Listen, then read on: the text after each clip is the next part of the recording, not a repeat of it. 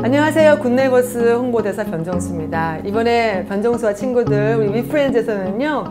굿네이버스와 함께 우리 이 수술비와 치료비가 필요한 아이들을 위해서 러브 플리마켓을 개최합니다.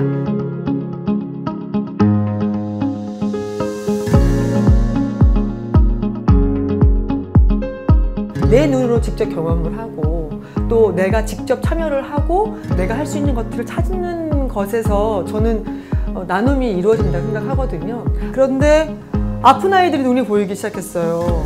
제 주변에도 수술비가 없어서 그 생명을 연장하기 위해서 하루하루 힘겹게 살아가고 있는 아이들이 있는데 제가 다 해결할 수는 없지만 우리 프리마켓에서 하는 우리 셀러들, 오시는 손님들, 그리고 우리 기업에 후원해 주시는 분들한테 같이 그 아이들의 수술비를 좀 지원해 주면 어떨까.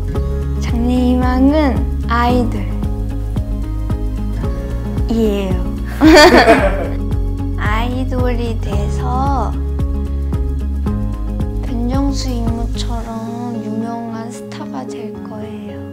많은 친구들을 보러 다닐 거예요. 많은 분들이 솔직히 나눔을 어떻게 하는지 몰라서 못 하시는 분들이 굉장히 많습니다. 그냥 큰 돈이 있어야만 한다고 생각하시는 분들이 많은데 작은 돈이더라도 그리고 나의 재능 기부로 나눔을 같이 할 수 있기 때문에 한번 보신 분들은요 꾸준하게 하게 돼 있어요. 장소는 IFC 몰이고요. 여의도에서 여러분들과 함께 14일과 15일 추석 전주죠.